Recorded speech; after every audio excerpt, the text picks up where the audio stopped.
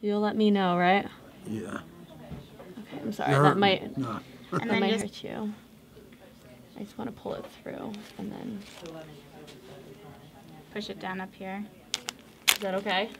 The clinic at the Rescue Mission is open twice a week on Tuesday and Thursday evenings, and that's primarily for men who are accessing the Rescue Mission for other services. And then we're able to provide them with free health care, including you know their medications and their labs, referrals to specialists, or we can bring a specialist here. Purple. So one of the things that we try to do is provide a different outlet besides going to the ER and also take the opportunity to teach the guys about when they need to go to the ER versus when it can wait a day and they can wait for us to come or, or what other access they would have to other services. This uh, clinic is, is unique in that it's run by physician assistant students in the DeSales PA program.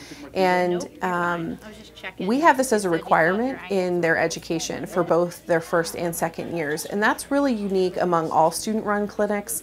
Um, even when you're comparing to medical school programs, the majority of those um, programs are not in homeless shelters, first of all, and they're not required. Actually, only four medical schools require their students to participate in any kind of student-run clinic, let alone one in a homeless shelter. When you got the chest pain on Friday, was it as bad as the time that you had it that you had to go to the hospital? So I think it was just a humbling experience because patients are so thankful here. Patients, when you go to family practice, they know that they you're a phone call away. And so every single time you see a patient here, they shake your hand, they thank you, they have a big smile on their face. They know that you're here Tuesdays and Thursdays, but they can't just pick up the phone and call their doctor for help. So they really rely on the DeSales Free Clinic to get their um, medications and any healthcare advice that they may need. Yeah, it's like swollen. It's swollen, and it's not normally like this.